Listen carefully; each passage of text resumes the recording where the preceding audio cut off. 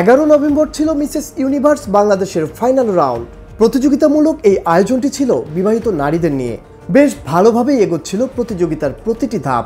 কিন্তু শেষ ধাপে এসে বাঁধল বিতর্ক। যে বিতর্কের আসামির কাঠগড়ায় দেশের জনপ্রিয় অভিনেতা মীর সাব্বির, তার বিরুদ্ধে নারীর পোশাক নিয়ে বুলিংয়ের অভিযোগ এনে বাদীর ভূমিকায় রয়েছেন অনুষ্ঠানটির উপস্থাপিকা ইশরাত পায়েল। আর তা নিয়েই নেট দুনিয়ায় উঠেছে ঝড়। মঞ্চ থেকে নেমে যাচ্ছেন অভিনেতা মীর সাব্বির। ঠিক তখনই পেছন থেকে ডেকে থামান উপস্থাপিকা ইশরাত পায়েল। ফিরে আসার পর পায়েল বলেন বরিশালের আঞ্চলিক ভাষায় কোনো নাটকের একটি সংলাপ শুনতে চাই। মাইক্রোফোন হাতে মীর সাব্বির বলেন আমার নাটকের সংলাপ মনে থাকে না। তারপর খানিকটা সময় নিয়ে এই অভিনেতা বরিশালে আঞ্চলিক ভাষায় পায়েলকে উদ্দেশ্য করে বলেন তুমি এরকম দাঁড়া গেছো মীর সাব্বিরের সেই সংলাপে হেসে ওঠে পুরো আসর। হাসি থামাতে পারেননি পায়েলও। তাল মিলিয়ে হাসলেও সেটা যে মেকি হাসি ছিল, তা মিলনায়তনে বসা অনেকের চোখে স্পষ্ট ধরা পড়ে। অনুষ্ঠানের পর ইশরাত পায়েল এক ফেসবুক ভিডিওতে সাব্বিরের বিরুদ্ধে তার পোশাক নিয়ে নেতিবাচক মন্তব্যের অভিযোগ আনেন।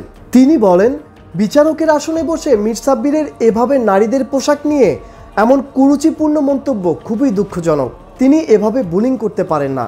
এদিকে প্রতিদিনে বাংলাদেশকে মীর সাব্বির জানান আমি ফান করে একটা কথা বলছি যে মাতারি এরকম উদলয়ে খাড়াই রয়েছে কেন?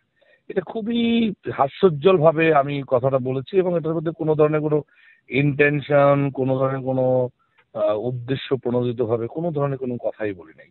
আচ্ছা এটার খুবই সহজ অর্থ হচ্ছে বরিশালের ভাষায় একটা নর্মাল একটা শব্দ আর কি। এটাকে সে যেভাবে করে কথাটা বলেছে, ইয়াতে আমি দেখেছি।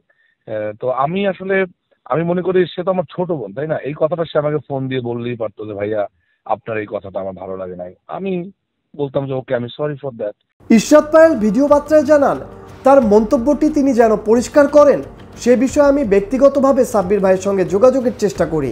বারবার ফোন করা হলেও তিনি তাতে কোনো সাড়া দেননি।